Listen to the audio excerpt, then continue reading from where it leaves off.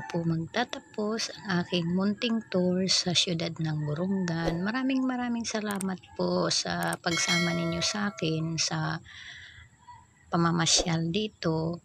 At saka thank you na rin po sa mga sumusuporta sa aking munting channel. Please subscribe po sa mga hindi pa nag-subscribe and hit the notification po para updated kayo sa aking mga simpleng video.